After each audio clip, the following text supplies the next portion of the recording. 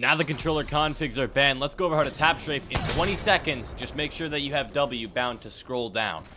Step 1 is nothing more than a simple slide jump. Then you just add a strafe to the left or right with D or A while simultaneously looking that direction. Then while you're doing that, just scroll down. Strafe and look to the side, then quickly turn and scroll down. It's really that easy. Honestly, I say we let controller tap strafe.